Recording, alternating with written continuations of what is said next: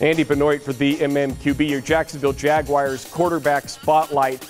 People within the NFL rave about Blake Bortles. They love the arm strength, the accuracy, the, the athleticism, which catches you off guard if you're a defense. He has a very good package. Now, the caveat is his package, it's methodical as well. He's not a quick, twitchy athlete. He has a little bit of a wind up delivery. He moves around a little slower within the pocket.